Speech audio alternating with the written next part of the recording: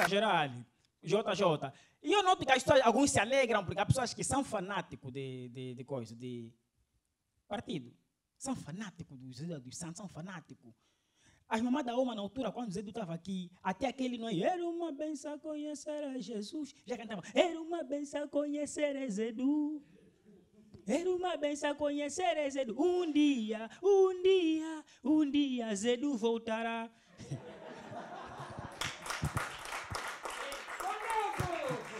Ah, sorriso, velho.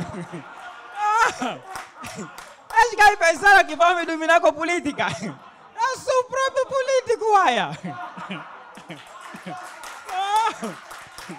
Se não compreender agora, não vai compreender depois quando falarem sobre one-liners. Tiago falou sobre one-liners, né? São piadas curtas, tipo pênis do colo. Mas vamos continuar com o trabalho. Oh. Tá. Tá o quê? Eu não vou falar da que eu nunca provei, família. E, e, e você notaram o, o cartaz desse, da final? Quem veio aqui viu, viu o cartaz? Tá tipo, maestro, tá com os filhos dele, né?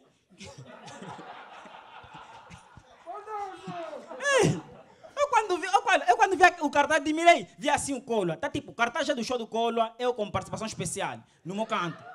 E o maestro tá nos ver, tipo, nos ver tipo filho, tipo, eu sou Caim, Colo é Abel, tá vendo?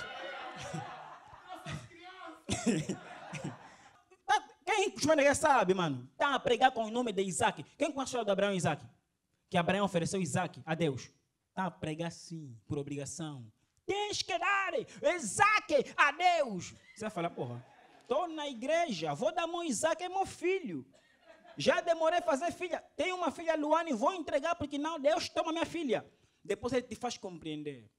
Como eu te digo de Isaac, Isaac era no passado. Agora não é Isaac. Agora tens que dar alguma coisa para fazer valor do Isaac. Você controla. Porque do suor do teu. Onde ele se borra. Porque, quando está falando toa, depois erra. Porque do suor do teu pão comerás o teu rosto.